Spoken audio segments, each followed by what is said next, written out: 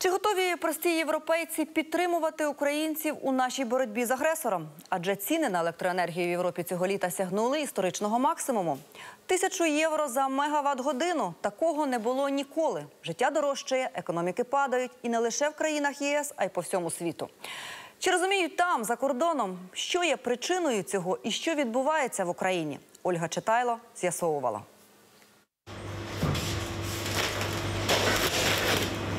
Років сім'я Енгельберта готувала хліб і печиво у маленькій пекарні німецького Кельна. Бізнес пережив Другу світову, але не витримав економічних наслідків російської війни в Україні. Пекарня восени назавжди вимикає свої печі.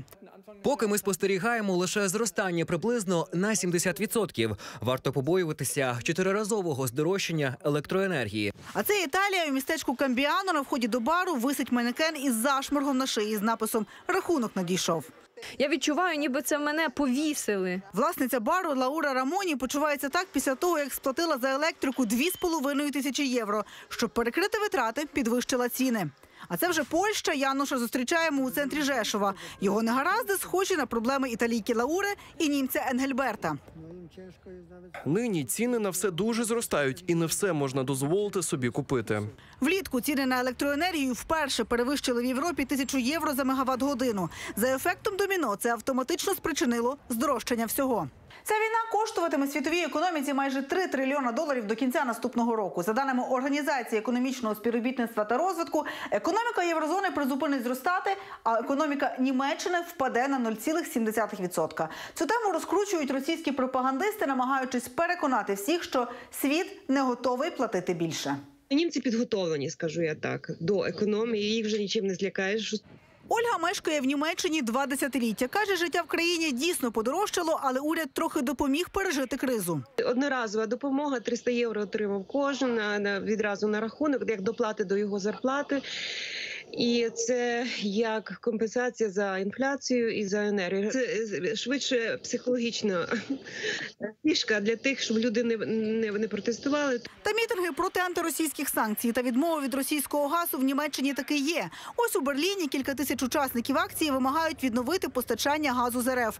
От тільки організували протести партія АФД, відома своїми проросійськими настроями. У частини людей складається враження, що зростання цін пов'язане із санкціями.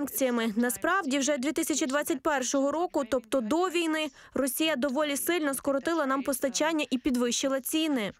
Експертка німецького інституту економічних досліджень Франциска Хольц визнає суспільство розділене, але більшість таки розуміє ситуацію. 69% німців підтримують розірвання економічних пут із Росією. Серед італійців показник вищий 76%. І це відчутно навіть на побутовому рівні. Українка Олександра переказує нам розмову в одній із італійських аптек. Пані італійка, яка була в аптеці на касі, запиталася мене, чи я росіянка. Я відповіла ні, українка.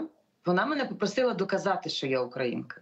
Я з сумки дістала паспорт, показала їй український паспорт. і Вона зразу стала миліша е, і сказала, що для українців є знижки. Але найактивніше підтримують антиросійські санкції поляки 80% за. І це підтверджує Януш, який після скарг на дорожнечу каже нам. Головне, аби Україна перемогла і якомога швидше повернулася до нормального життя. Ми молимося за це. Ольга Чатайло та Наталія Жуковська. Факти ICTV. Єдині новини.